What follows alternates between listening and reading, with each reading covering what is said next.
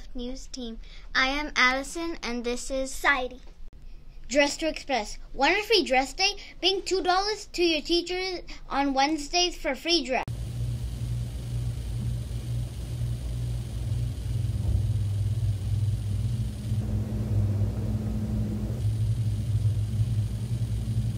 The Day of the Dead is a holiday celebrated from the 31st of October through the 2nd of November. Traditions connected with the holiday include honoring the deceased using calaveras and Aztec marigold flowers known as campuchitil, building home altars called ofrendas with the favorite foods and beverages of the departed. Día de los Muertos.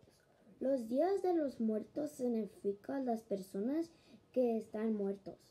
Celebramos porque las familias que están muertos vamos a la tumba para mirarlos allí y para que les ponemos flores. Eso es lo que significa los días de los muertos. Thanksgiving. Day is an annual national holiday in the United States and Canada, celebrating the harvest and other blessing of the past year. Thanksgiving will be November on November 25. Gobble gobble. That's all for for today. today. Have a great.